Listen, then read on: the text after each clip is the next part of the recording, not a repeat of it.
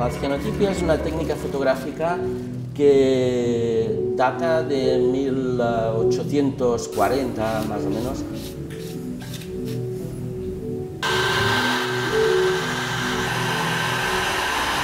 Lo que a mí me interesa no es partir de una imagen en papel para esta serie, sino siempre de un negativo.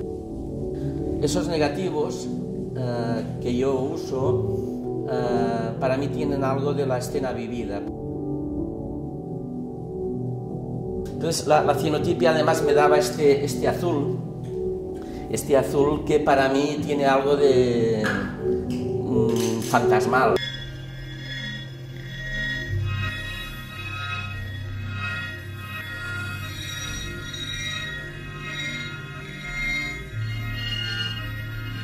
O sea, pero como de luz de noche, ¿no? Como de aparición, eh, un poco evanescente, como, como algo que se, se te reaparece, ¿no? En este caso, la cara ha quedado desenfocada, pero para mí es una buena pieza, porque mm, el desenfoque de esta cara es producto de haber añadido eh, el alambre que ha deformado la imagen, y eso es mi acción a la hora de recuperar esa imagen, incorporar una acción realizada por mí uh, con una intención plástica y de modificación de la realidad que habíamos captado con la, eh, que se había captado con el negativo.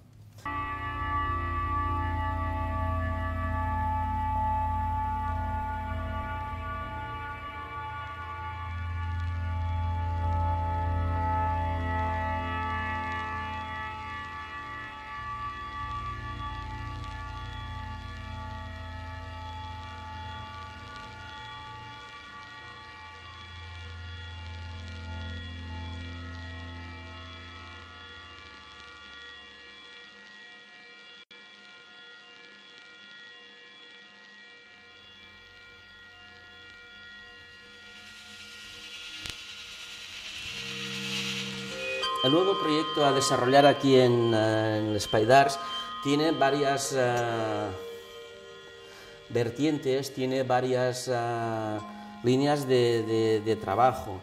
En este proyecto me proponía hacer revivir y recuperar imágenes, sacar a la luz imágenes, digamos, que estaban en la oscuridad o perdidas.